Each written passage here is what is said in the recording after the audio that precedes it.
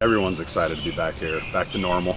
It's homecoming at Sycamore Farm. We've got it pretty much done now, um, and we're just excited to be back for the event. The seasonal artisan craft show had to change locations after March floods ruined the farm. This totally is shocking. It crept up on us, and I just, it wasn't supposed to get this high. And The floods washed away acres of land, destroying fixtures, handmade crafts, and office space at the Junkstock farm.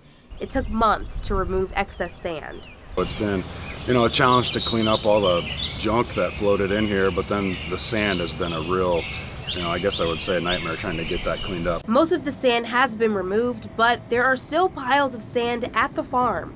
We had uh, basically oh, about a 40 acre sandbar come all the way across our farm with two to three, four feet deep sand in some places. Luckily, their 100 year old home survived the floods. You know, we had some water in the basement, so we had a big mess in the basement, but um, it didn't come up into our main li- living level. You know, the house is elevated a little bit. And although piles of sand still linger at parts of the farm, John says they're overjoyed to be reopening this weekend. We're almost back to normal once we get some some crops planted where the sand was. It'll be, you know, you'll really won't even know anything happened. Hopefully.